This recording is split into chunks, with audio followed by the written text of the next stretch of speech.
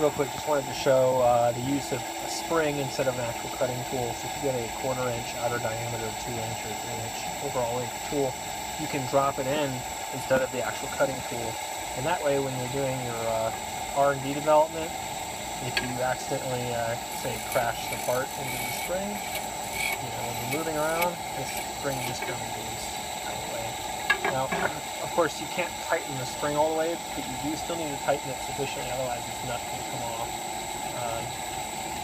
requires the actual uh, tool force to tighten. So anyway, that's uh, one way to, to do dev without crashing when you're trying to set up your routines.